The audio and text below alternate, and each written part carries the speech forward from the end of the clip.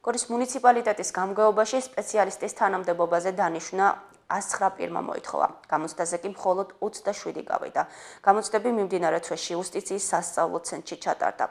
თითო ადამიანის გამოცდაში კი გამგეობამ 10 ლარი გადაიხადა. მესამე ეტაპზე გამგებელს და კომისიის წევრებს დარჩენილი 18 კანდიდატის გარდა კიდევ 7 კანდიდატი გაესაუბრა. ამ 7 ადამიანმა გამოცდები წინა წელს ჩააბარა. ზეკო გიორგაშვილი დეტალებით. გორის მუნიციპალიტეტის გამგეობის მიერ მიმდინარე წლის 2 ივნის გამოცხადებულ ხუთ ვაკანტურ ადგილზე დასაქმების სურვილი 109 პირმა გამოთქვა.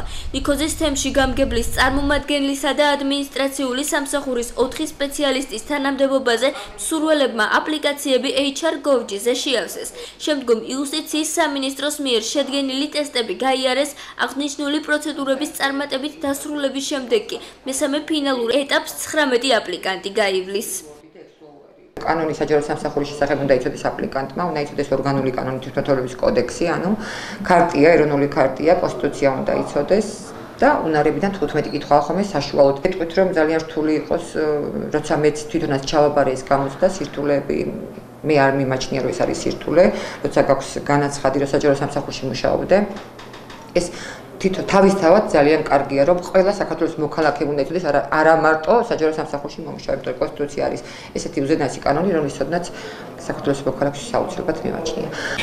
მესამე ეტაპზე გასული აფრიკანტები გასაუბრებას ხუთ კომისიის წევრთან გაივლიან კომისიას კი უწყების პირველი პირი. დავით ვანიაშვილი და საკრებულოს თავმჯდომარე კონსტანტინე თავზარაშვილი ხელმძღვანელი. როგორც თავზარაშვილი ამბობს, გამომცდელების საჯარო მოხელეობის მსურველებს კითხვებს თვითმმართველობის ორგანული კანონიდან დაუსვა, რის შემდეგაც შოული კომისიის წევრი აპლიკანტს სამფულიანი სისტემით შეაფასებს.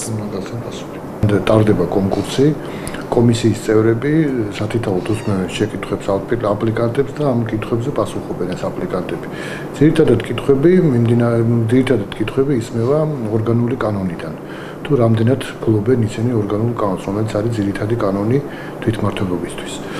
ну შეფასება ხდება მე სამკულიანი სამკულიანი შეფასება ანუ ერთი კულა ორი კულა სამი კულა სამი კულა არის ყველაზე უმაღლესი გორის მუნიციპალიტეტის იურიდიული სამსახურის უფროსი რევას გოგიაშვილი ამბობს, რომ კანონი, რომლითაც საჯარო მოხელეობის მსურველები აღნიშნულ უწყებაში საქმდებიან 1 ივლისიდან შეიცვლება.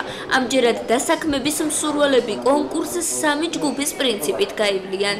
აიყო სამ ჯგუფად, გამარტივებული კონკურსი ერთი სახე დახურული და საჯაროა. თუ ვაკანსია წარმოიშვა ამა თუ იმ თანამდებობის მოშიგნით დაწესებულებაში თუ არსებობს შესაბამისი პროფესიის განათლების მქონე ადამიანი ან საჯარო სამსახურის ბიუროს თუ ყავს ამ მიზნით სამოხელეთა რეესტრში მოხელის რეზერვი ასეთი ის არის სამართლებრივი სახელი. აი ამ პიროვნებების მეშვეობით ხდება ამ საკონკურსო თანამდებობაზე პიროვნების დანიშვნა სხვა შემთხვევაში თუ ვერ მოიძებნება სათანადო დასასაქმებელი პირი მე ხდება საჯარო წესით გამოცხადება ორივნის გორის მუნიციპალიტეტის გამგეობის მიერ გამოცხადებულ ვაკანსიებზე დასკვნითი ეტაპის გასაუბრებას აპლიკანტები ხვალ გაივლიან.